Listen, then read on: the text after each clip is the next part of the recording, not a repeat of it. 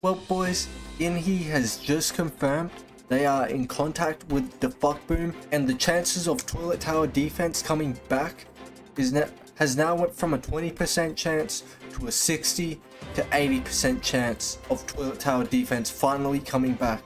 So guys, I'm so excited for the game to come back. I'm sure you guys are are too. Just hanging tight. It should be back within the next within the next week he said. So that's really good news to hear.